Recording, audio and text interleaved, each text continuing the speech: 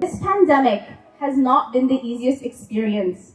But alhamdulillah, we've all survived. We are all here today. And that doesn't mean that we can't celebrate the vast achievements of our Muslim students right here in Calgary. I can move, I can run, I can feel the heat of sun. First of all, congratulations to all the uh, graduates today.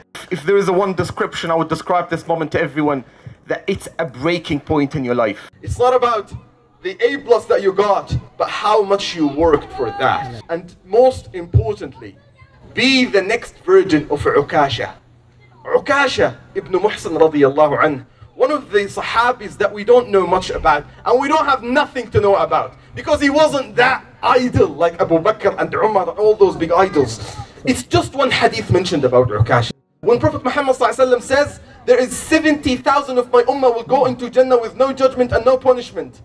Ukasha jumped off and said, Ya Rasulullah, ud'u Allah li an akuna minhum.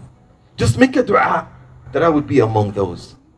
Unexpectedly, Prophet Muhammad points at him and says, Anta minhum.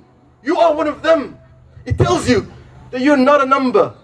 Don't you ever underestimate yourself when you work for those labor jobs. And I've been there. You get treated just like a number. If I ain't got nothing,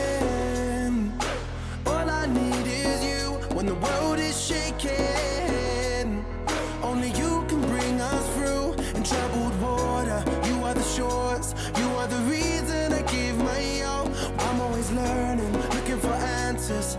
Every day I pray to you. Your achievements today are not your achievements alone. They are achievements of your parents as well. Imam Malik, rahimahullah, he used to say that his mother used to take him to the to school. They, used, they didn't have school in back day. They used to have a, a scholar, a teacher in the masjid who used to teach them.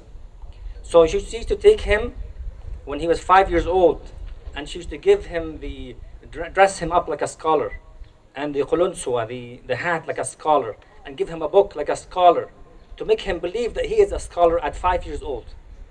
And she, his mother used to take him to the masjid, and she used to tell him, learn his good manners before you learn his knowledge.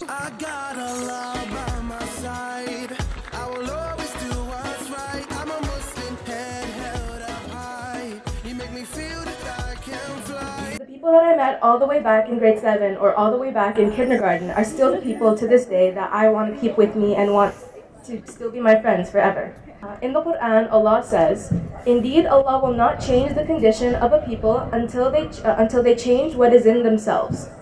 So this means that for Allah to bring change for us, we have to initiate it ourselves. We have to want that change. Um, it may not feel great because we may lose people or things that we love, uh, but it's something that we just can't change about life. People will come and go, and friends, teachers, classmates, many relationships, um, they'll end one day. But what's important is to keep the memories that you've made from all those relationships and learn a lesson.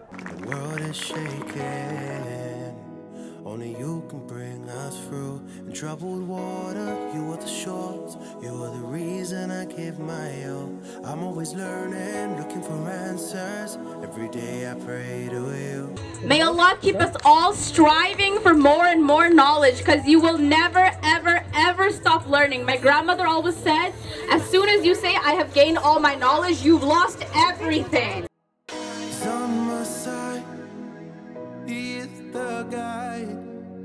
My